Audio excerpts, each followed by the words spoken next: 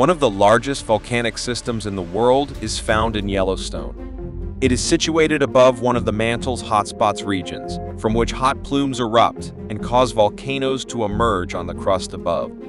The Yellowstone supervolcano is thousands of times more powerful than a normal volcano. Volcanologists, who have been monitoring this activity since 1923, estimate that between 2004 and 2009, the ground rose by around 25 centimeters, around 9.8 inches. But in 2010, the ground started to sink.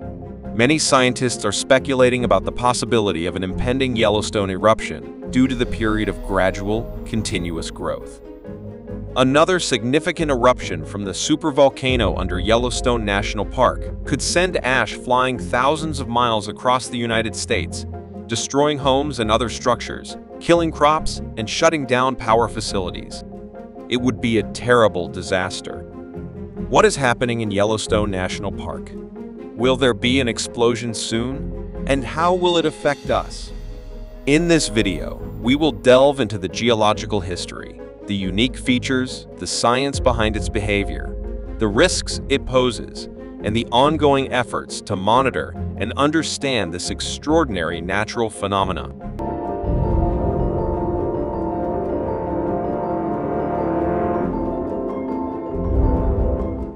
The Yellowstone volcano has been around for millions of years, in contrast to typical stratovolcanoes like Karymsky Volcano, which are connected to subduction zones, Yellowstone is a hotspot volcano. This suggests that a stationary plume of hot, molten rock coming from the Earth's mantle is generating a number of volcanic structures as the North American tectonic plate moves over it. It is capable of an 8-magnitude outburst. There have been three significant eruptions, and each one produced a caldera. One happened 2.1 million years ago, other 1.3 million years ago, and one 664,000 years ago. The most significant eruption in Yellowstone's history occurred around 640,000 years ago, leaving behind a colossal volcanic depression known as the Yellowstone Caldera. This massive crater, stretching approximately 30 by 45 miles, is a testament to the immense power and scale of past volcanic activity in the region. Yellowstone attracts a lot of attention due of the likelihood of catastrophic supereruptions.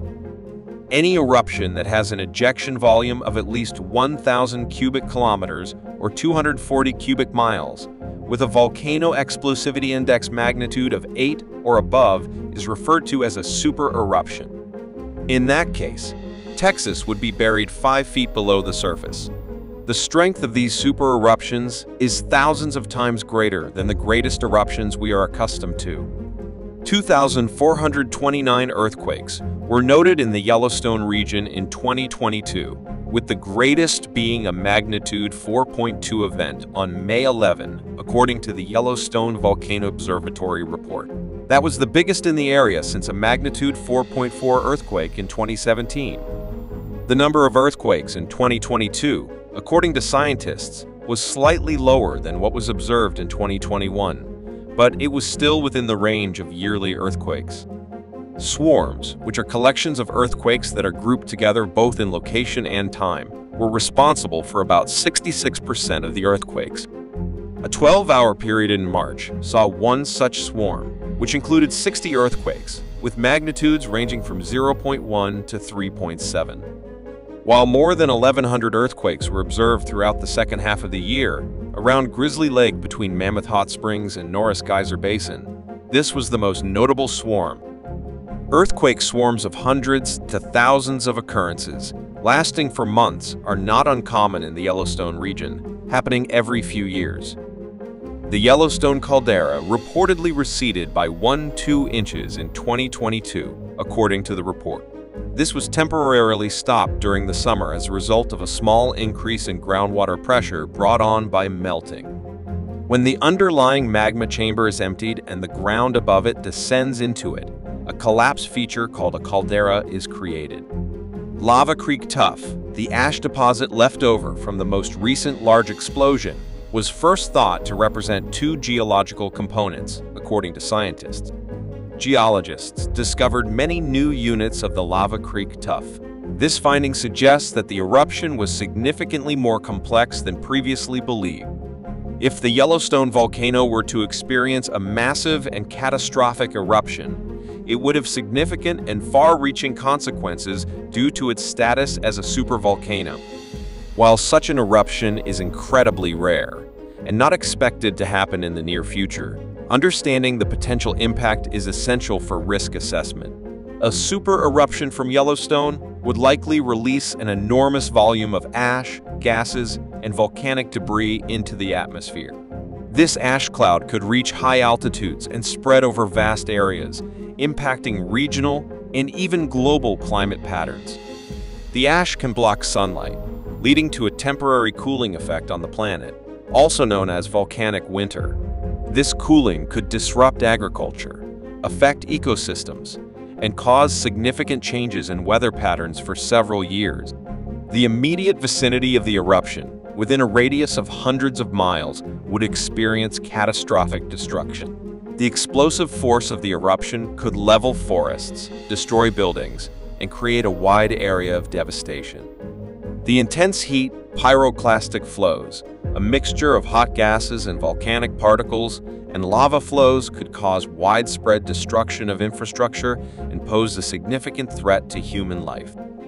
The volcanic ash and gases released during a supereruption can have long-lasting effects on the climate. These aerosols can remain in the atmosphere for years. The ash cloud from a supervolcanic eruption can pose a significant hazard to air travel. Ash particles can damage jet engines, leading to flight cancellations and rerouting. The widespread impact on air travel could have economic consequences and disrupt transportation networks globally. The recovery process from a supervolcanic eruption would be challenging and require significant resources. It's important to emphasize that the likelihood of a catastrophic eruption from the Yellowstone volcano occurring in the near future is extremely low.